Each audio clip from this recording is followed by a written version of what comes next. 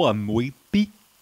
Fala galera, eu sou o Caio e bem-vindos para mais um vídeo no canal da CFX. É, galera, seguinte, algumas informações sobre essa nova prisão que aconteceu há poucas horas aí do Conor McGregor é o seguinte. Como vocês podem ver aí, jail number, a fotinho aí do indivíduo, vai dar aí 7.500 mais 1.000, mais 5.000 dá 12,5, 13,5, 13.500 dólares para o caso do McGregor ter basicamente aí agredido um cidadão que estava tirando fotos ou filmando do seu celular na parte de fora do hotel no qual o McGregor se encontrava. Aí eu acho que ele deve ter ficado pistola da vida e foi atrás do cara. Óbvio que o cara não queria entregar o telefone dele. E aí o McGregor pegou na força, jogou no chão, quebrou e é isso. Mas, claro que o homem, bem ou mal intencionado, ele foi lá e com certeza registrou essa queixa queixa aí e muito possível que se ele entrar com os danos morais aí, com um advogado mediano, consiga tirar bem mais do que esse valor aí do, do Conor McGregor e esse celular vai sair bem barato. Eu, sinceramente, não chego a culpá-lo de forma completa,